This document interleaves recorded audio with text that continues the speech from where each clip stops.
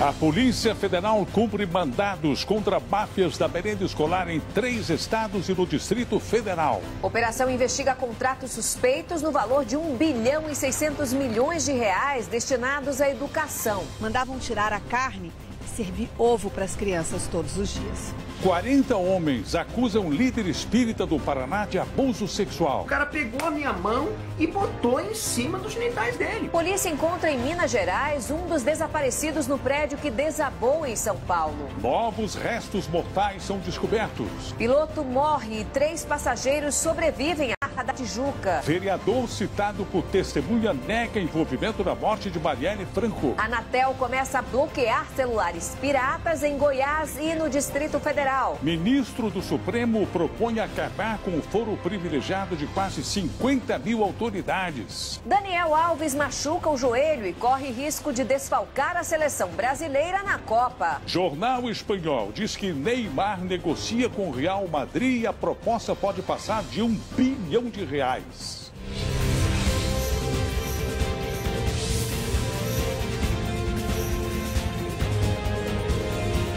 Está no ar o SBT Brasil, com Carlos Nascimento e Raquel Sherazade. Boa noite. Boa noite. A queda de um helicóptero no mar hoje no Rio de Janeiro matou o piloto da aeronave. Outras três pessoas conseguiram sobreviver. Não foi possível localizar nenhum representante da dona do helicóptero, a empresa Mapa Empreendimentos e Participações, para comentar o acidente. Um homem que havia sido dado como morto no desabamento do prédio em São Paulo está vivo. Com isso, o número de desaparecidos caiu para seis. Hoje, os bombeiros encontraram mais uma ossada nos escombros. Um sargento do batalhão de choque da Polícia Militar foi morto hoje à tarde num tiroteio com traficantes da favela da Rocinha, no Rio de Janeiro. A autoestrada Lagoa Barra foi interditada. O repórter Fabiano Martinez está no hospital para onde foram levados os feridos. Boa noite, Fabiano. Qual é o estado de saúde das pessoas que foram baleadas? Obrigada, Fabiano. O vereador citado no inquérito que investiga o assassinato da vereadora Marielle Franco e do motorista Anderson Gomes negou hoje ter participado do crime. Marcelo Siciliano, do PHS, foi apontado por uma testemunha como o mandante da execução que aconteceu há 56 dias no Rio de Janeiro. Veja instantes: Polícia Federal faz operação contra desvios de recursos para a merenda escolar. A Anatel começa a bloquear celulares piratas em Goiás e no Distrito Federal. E você vê aí o valor do dólar que encostou nos R$ 3,60. É o maior valor em quase dois anos. A gente volta já já.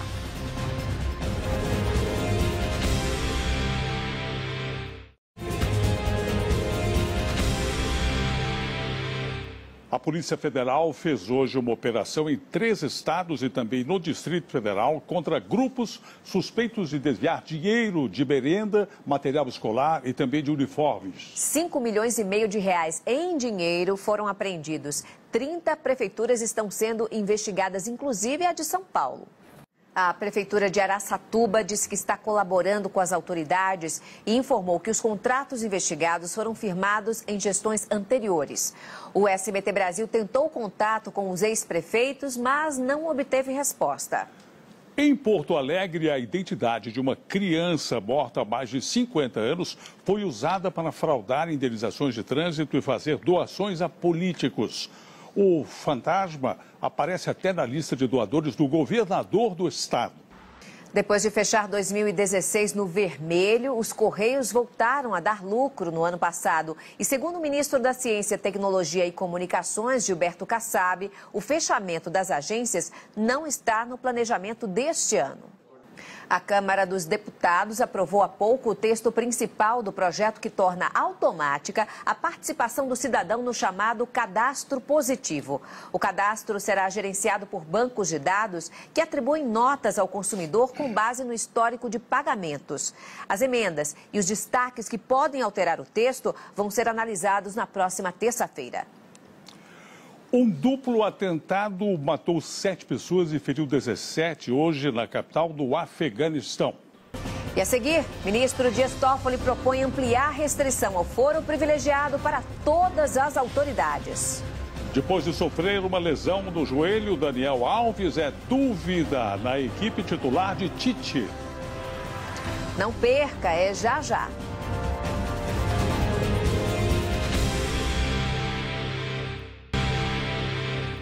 Exclusivo. Um porteiro está preso há um mês, acusado de roubar um carro em São Paulo. A vítima chegou a reconhecer o rapaz, mas a família do réu reuniu provas e garante que ele é inocente. A Anatel começou hoje a bloquear os celulares irregulares em Goiás e no Distrito Federal.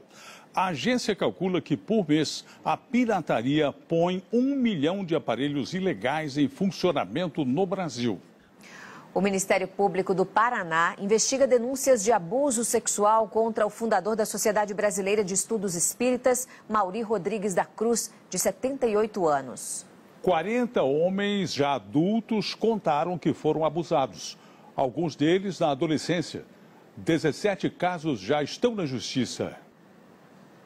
Depois de aprovar restrições ao foro privilegiado para políticos, o Supremo Tribunal Federal vai discutir se o mesmo tratamento deve ser dado a outras autoridades. São quase 50 mil detentores de cargos que têm esse benefício.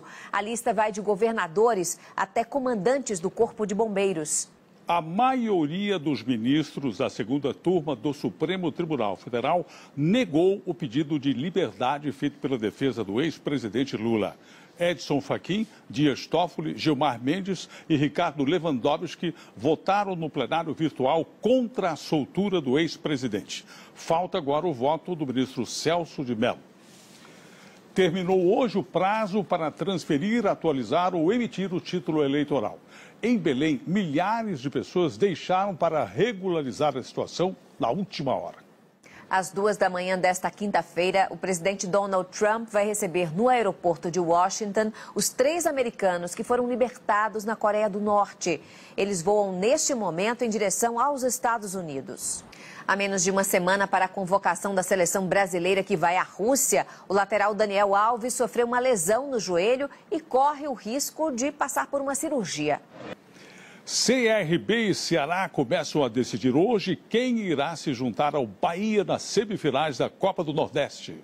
O Santuário de Aparecida prepara uma peregrinação pela rodovia Dutra para marcar os 40 anos do restauro da imagem de Nossa Senhora. Em maio de 1978, a imagem que estava no altar foi quebrada em mais de 200 pedaços durante um ataque. Você assiste a programação do SBT em todas as plataformas digitais pelo site www.sbt.com.br. Uma boa noite. Boa noite, Brasil. Tchau.